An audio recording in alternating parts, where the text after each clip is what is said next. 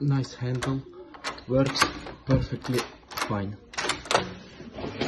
Locking, unlocking, no problem.